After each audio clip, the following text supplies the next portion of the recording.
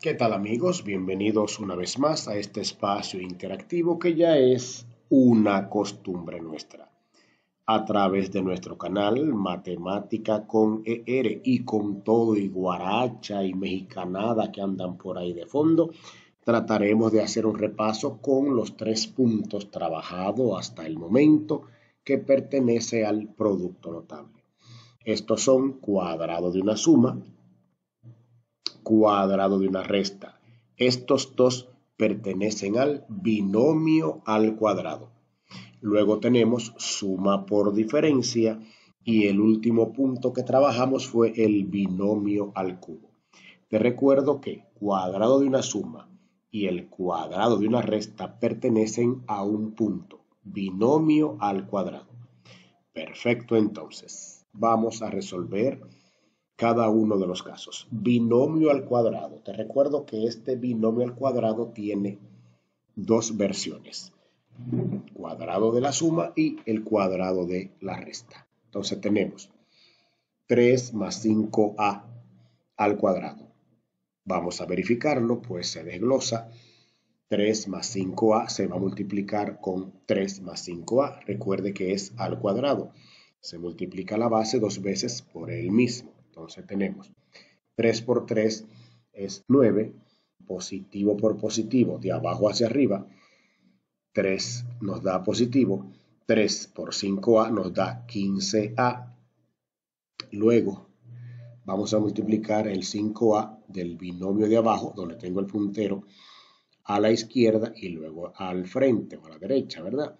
Entonces digo positivo por positivo nos da positivo y 5A por 3 nos da también 15A. Ahora, positivo por positivo nos da positivo y 5A por 5A nos da 25A al cuadrado. Ahora vamos a agrupar los términos semejantes y fíjese que aquí en esta respuesta usted tiene 9 más 3A eh, más 30A más 25A al cuadrado. ¿De dónde sale ese 30A? Porque sumamos 15A más 15a, que son los términos semejantes. Ahí tenemos ya lo que es el cuadrado de una suma que pertenece a binomio al cuadrado.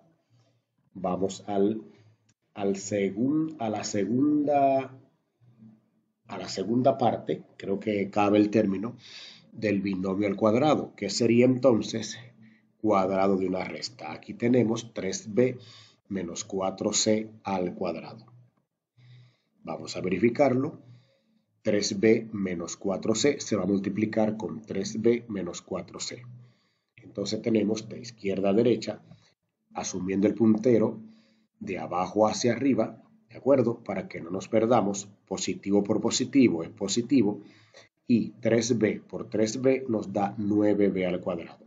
Luego, positivo por negativo nos da negativo, y 3b por 4c nos da 12bc. Luego, el segundo término, que ahora es 4c, estoy en el binomio de abajo, ¿eh? negativo por positivo nos da negativo y 4c por 3b nos da también 12bc. Recuerde que las letras se colocan en orden alfabético y negativo por negativo nos da positivo y 4c por 4c nos da 16c al cuadrado.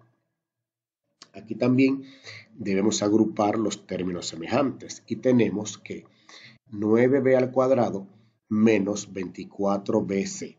¿Por qué 24bc? Porque se agruparon, se sumaron, me devuelvo, se sumaron, se agruparon 12, negativo 12bc y negativo 12bc. Nos da negativo 24BC y por último pues se queda igual positivo 16C. Pasemos entonces al siguiente caso, suma por diferencia. Y ahí se nos fue un término, pero amén, él tendrá su espacio más tarde. Tenemos aquí 7m más 3n y se va a multiplicar con 7m menos 3m. Suma por diferencia. Suma el primer paréntesis, diferencia el segundo paréntesis. Lo colocamos pues vertical también se puede colocar de manera horizontal. Todo depende de la facilidad con la que te salga el proceso. Multiplicamos. Positivo por positivo es positivo. 7m por 7m nos da 49m al cuadrado. De izquierda a derecha, positivo por positivo nos da positivo. 7m por 3n nos da 21mn Vamos ahora con el segundo término. Negativo por positivo nos da negativo. 3n por 7m nos da 21mn y menos por más o negativo por positivo nos da negativo y 3n por 3n nos da 9n al cuadrado. Ahora agrupamos los términos semejantes. Entonces tenemos 49m al cuadrado pasa igual y se tachan, se tachan positivo 21mn y negativo 21mn. Son términos semejantes y tienen el mismo coeficiente. Al cancelarlo, pues desaparece la mn y nos queda positivo 49m al cuadrado y negativo 9n al cuadrado. Esa es la respuesta de la suma por diferencia, solo dos términos. Ahora vamos a pasar entonces a lo que es el último caso de lo que ya hemos trabajado, el binomio al cubo. Entonces, esto aquí hay que efectuar tres multiplicaciones. Primero se eleva al cuadrado y después esa respuesta la multiplicamos por el otro binomio que nos queda. Entonces tenemos AB más B elevada al cubo. Recuerde que el cubo es el número 3, el exponente 3. Mírenlo aquí arriba donde lo tenemos chiquito. Debí colocarlo de otro color para que se observe o se identifique mejor. Entonces vamos a desglosarlo. 4A más B se va a multiplicar con 4A más B. Entonces multiplicamos tal cual ya eh, se multiplica el binomio para que usted tenga la idea. Positivo por positivo nos da positivo. 4a por 4a nos da 16a al cuadrado. Eh, recuerde que en la multiplicación los exponentes se suman si las letras son semejantes, si los términos son semejantes. Recuerde.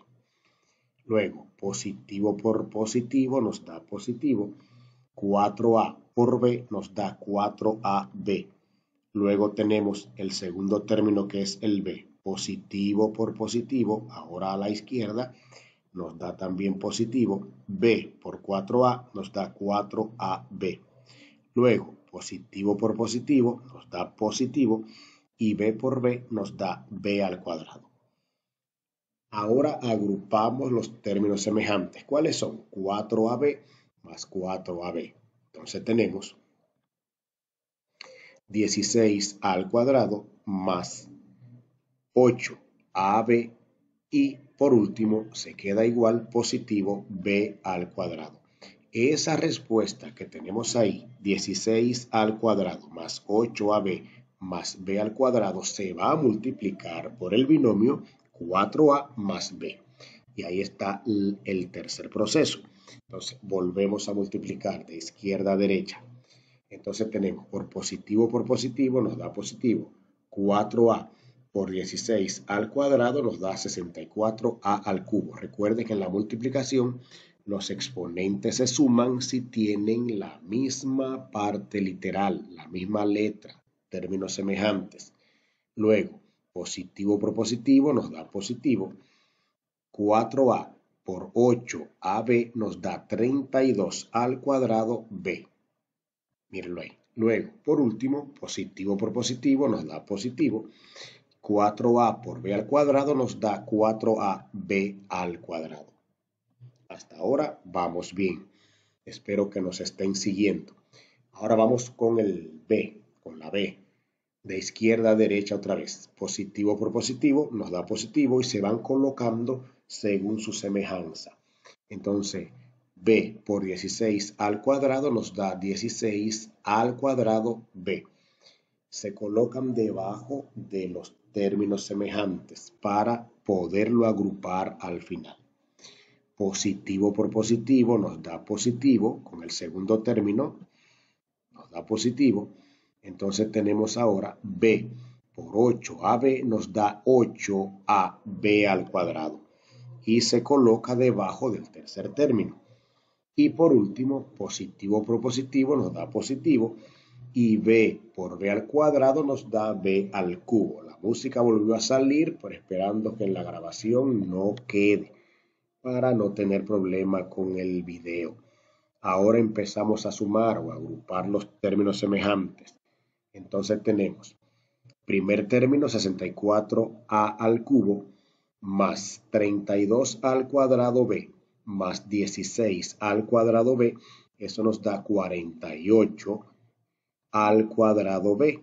Vamos con el tercer término. Tenemos 4ab al cuadrado más 8ab al cuadrado nos da 12ab al cuadrado.